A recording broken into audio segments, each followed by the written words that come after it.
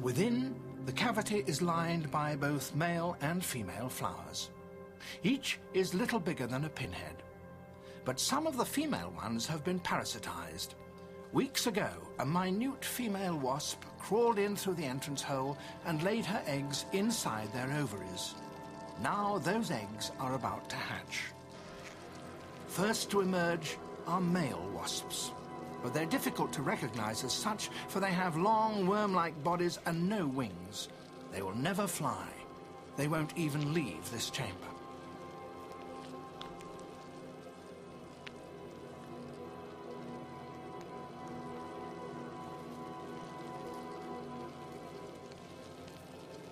They're searching for those parasitized female flowers that contain unhatched female wasps.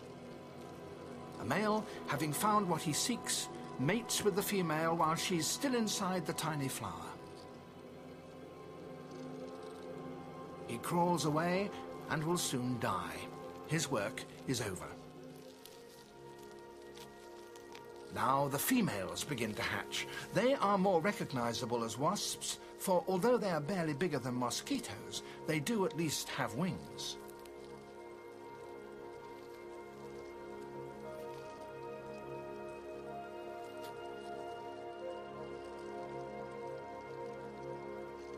They head for the exit hole.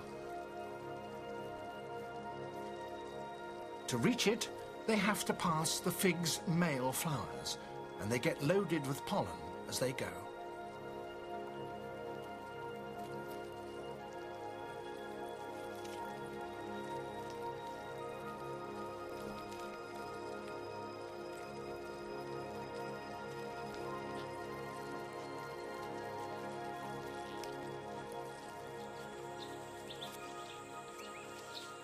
Out into the open air they fly to look for another fig tree in flower.